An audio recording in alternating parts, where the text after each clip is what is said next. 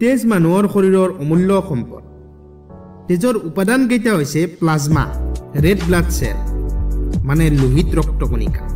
White blood cell মানে শ্বেত ৰক্তকণিকা আৰু প্লেটলেটছ ইয়াৰে প্লাজমা হৈছে ফ্লুইড পাৰ্ট মানে তৰল অংশ আৰু বাকীবোৰ তেজত পোৱা কোষ। ইয়াৰ উপৰি ৰেড ব্লাড চেল মানে লোহিত ৰক্তকণিকাৰ মুখ্য উপাদানটো হৈছে হিমগ্ল'বিন। হিমগ্ল'বিনৰ সহায়ত দেহে বায়ুৰ পৰা অক্সিজেন গ্ৰহণ কৰি কাৰ্বন ডাই অক্সাইড ত্যাগ কৰে যাৰ বাবে আমাৰ উশাহ নিশাহ সুন্দৰভাৱে চলি থাকে। আৰু যদি দেহত তেজৰ পৰিমাণ কমি যায় তেতিয়া এনিমিয়া বা বিভিন্ন ধৰণৰ বেমাৰে দেখা দিব পাৰে। কেতিয়াবা আকৌ গাড়ী মটৰ বা অন্য দুৰ্ঘটনাগ্ৰস্ত হৈ শৰীৰৰ পৰা অতিপাত ৰক্তকৰণ হোৱাৰ বাবে মানুহ মৃত্যুমুখত পৰে। এনিমিয়াই হওক বা অন্য বেমাৰ বা দুৰ্ঘটনাগ্ৰস্তজনক দিবলৈ কেতিয়াবা তেজ বিচাৰি হাবাথুৰি খাব লগা হয়। ব্লাড বেংকলৈ গৈও কেতিয়াবা একে গ্ৰুপৰ তেজ বিচাৰি পোৱা নাযায়।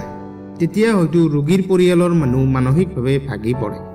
আনহাতে একে গ্ৰুপৰ তেজ পৰিয়ালৰ কোনোবা বা বন্ধু বান্ধৱৰ থাকিলেও দিবলৈ ভয় কৰে। কিন্তু যিসকলে নাজানে আজি জানিল যে তেজ দিয়াটো একো ভয় খাব লগা কথা নহয়। তেজ দিয়াৰ কেইদিনমানৰ ভিতৰতে পুনৰ নতুন তেজ শৰীৰত জমা হয়। চ' তেজ দান কৰাটো পৰম উপকাৰী। যদি আপুনি সুস্থ তেন্তে ডক্তৰৰ পৰামৰ্শ লৈ ৰক্তদান কৰিলে কোনো ক্ষতি নহয় বৰঞ্চ এজন মৃতপ্ৰায় মানুহে পুনৰ জীৱন পাব পাৰে। হেল্থি মানুহ এজনে কমচে কম এক ইউনিট তেজ নিশ্চিন্ত মনে ডনেট কৰিব পাৰে। এক ইউনিট মানে পাঁচশ পঁচিছ মিলিলিটাৰ অৰ্থাৎ প্ৰায় আধা লিটাৰ তেজ বুলি ধৰিব পাৰে। চ' যদি আপুনি সুস্থ তেনেহ'লে ৰক্তদান কৰিবলৈ সংকোচ নকৰিব। হয়তো আপোনাৰ তেজখিনিয়ে আন কোনোবা মানুহৰ জীৱনলৈ হাঁহি বিৰিঙাব পাৰে।